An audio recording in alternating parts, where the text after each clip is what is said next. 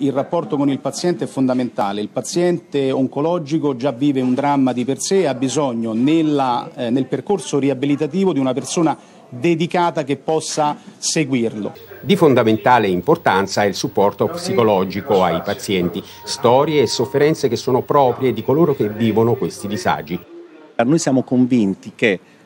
la cura della, della, disfunzione erettile ha due aspetti. La prima chirurgica che va dalla cintura in giù e se ne occupano proprio chirurghi di altissimo livello come il professor Antonini che col suo impianto mini invasivo ha veramente reso possibile la nuova felicità sessuale dei pazienti. Ma questa va accompagnata prima, durante e dopo anche quell'aspetto che va dalla cintura in su, ossia l'aspetto psicologico prendere cura di questa sofferenza e riuscire ad anticipare, fare in modo che il paziente riconosca che noi conosciamo perfettamente quello che lui prova, questi anni di umiliazione, questi anni di evitamento della vita sessuale, significa che il paziente si affida completamente e quindi prima, durante e dopo noi diamo un'assistenza completa. La disfunzione erettile colpisce soprattutto gli uomini più in là con gli anni, ma può comparire a tutte le età. Spesso si tratta di un problema psicologico, fondamentale quindi fornire la giusta assistenza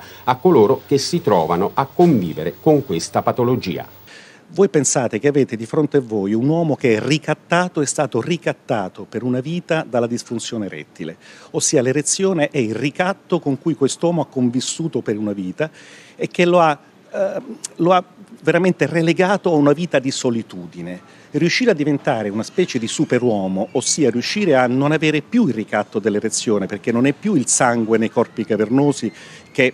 procura l'erezione, ma è un sistema idraulico sostitutivo che la rende assolutamente indipendente dalla funzione fisica normale e questo rende il paziente nella condizione di poter dire io in ogni momento posso avere un rapporto sessuale quando e come lo voglio.